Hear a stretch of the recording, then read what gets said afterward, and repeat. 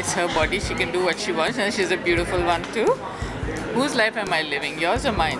I can do what I want with my life. Uh, since we are talking about social media, you know, trolling is something which is very normal.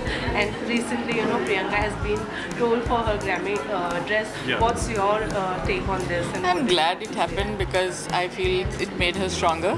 That she lives life on her own terms as long as she's not harming or hurting anybody. It's her body, she can do what she wants, and she's a beautiful one too. And I sent her uh, saying that says, It's my life.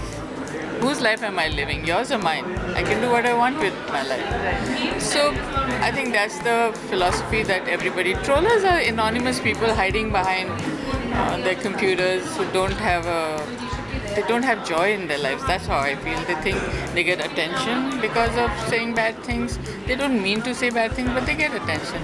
I don't give much weight to the trollers. It's okay. you like like I loved her dress. Yeah, she showed me the sample before she wore it, and I thought it was a little risk, but she carried it well, and she was one of the best dressed. So I'm happy about that.